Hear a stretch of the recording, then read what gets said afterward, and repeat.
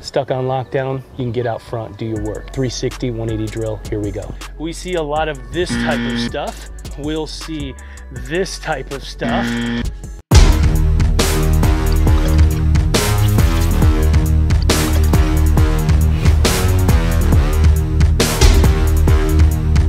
one of the things, again, we talk about from the 90 degree walk around, now we can do to a 180. So now we can focus on a 360.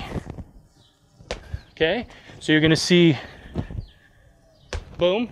Okay, so you're gonna notice there's a lot of things going on at 360. Here's one of the things I tend to see in 360s, outside of the foot, squatted, and turning like this. Well, we don't throw like this. We throw like this.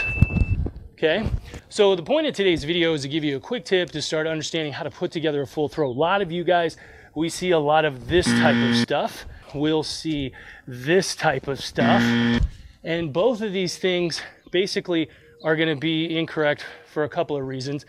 One, if you're coming up, you tend to get this pendulum sweep across the circle, which you don't wanna do. We got a new video coming up on the sweep leg path when you come down, you usually have to wind up jumping up, and the more time you spend in the air, the slower your throw is going to be, the less distance you're going to throw. It's as simple as that. So the goal is going to be to have the shortest amount of time from coming from the sprint leg to the middle back down to the power position, and that's going to be the goal.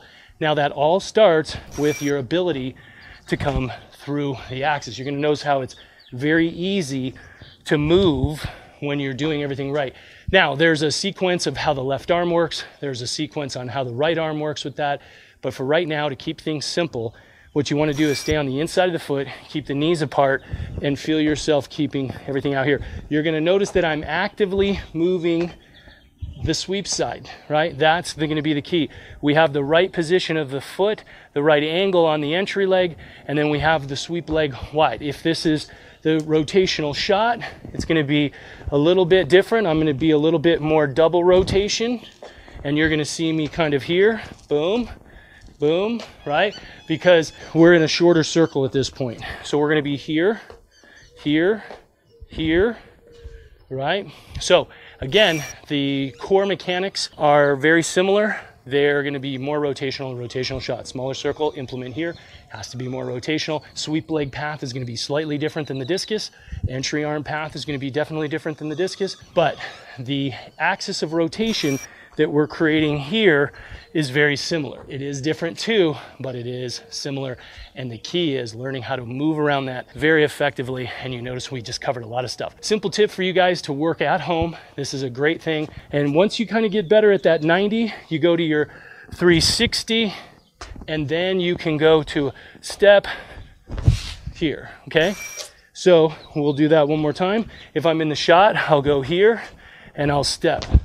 Okay? For a lot of you out there that are young throwers that are spending all of your time just doing a stand throw or a half turn, you're just going to throw farther when you do a full throw. We want to encourage you to do that. This is it. We call it pillar one and two. And that is actually, there's a lot of stuff happening there, but setting up that pillar two right so that we can get this pillar three position in, get our knee into the sprint line, into the throw is going to make a huge difference and that is gonna be the key. I'm here in my driveway. You could do this in your patio. You could do this in a basement. This is key. Learning these fundamental things so that when you do have that opportunity to get back into your training, you can actually get tons and tons of quality reps and train new patterns. And that's the goal. That's what we do with the throwing chain reaction system. Again, be sure to check that out.